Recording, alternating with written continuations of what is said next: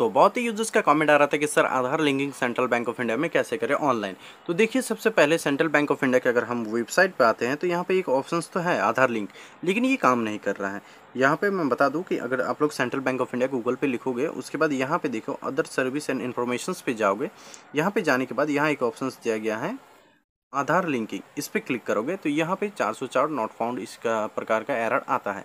ये हर समय ही आपको देखने को मिलेगा। यहाँ पे जो है, ये लिंक को पूरी तरह से बंद कर दिया गया है और यहाँ पे आपको ओपन ही नहीं होगा। इसमें जो है, आप आधार लिंक यहाँ से नहीं कर सकते हो। लेकिन इसमें एक नया ऑप्शंस आया है, जैसे कि आप लोग सेंट्रल बैंक ऑफ़ इंडिया में यहाँ से आधार कार्ड लिंक नहीं कर सकता। अभी फ़िलहाल ऑफलाइन आपको अकाउंट में जो है, आधार लिंक करवाना ऑनलाइन आप लोग देखना चाहो तो ऑनलाइन आप लोग आधार कार्ड लिंक नहीं कर सकते हो सेंट्रल बैंक ऑफ़ इंडिया में। लेकिन एक न्यू एनपीसीआई ने national payment corporation of India ने यहाँ पे लॉन्च किया है आधार लिंक का। लेकिन इसमें भी अभी तक सेंट्रल बैंक का लिस्ट में नाम नहीं आया है। इसमें जो है अदर्स बैंक का नाम आया है, जिसमें पाँच छः बैंक ही अभी।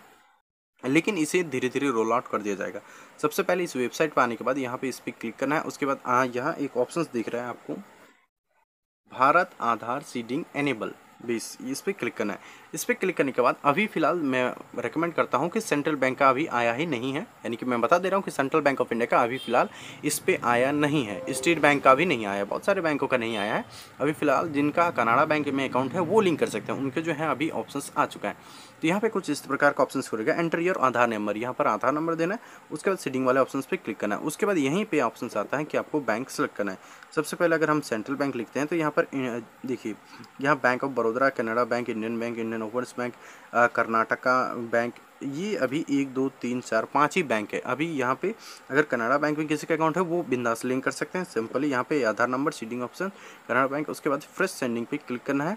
उसके बाद account number confirm account number term and condition accept करना है यहाँ कैप्चा फ्लिप करना है प्रोसीड करना है लिंक हो जाएगा। लेकिन सेंट्रल बैंक का अभी तक यहाँ पे नाम नहीं आया है।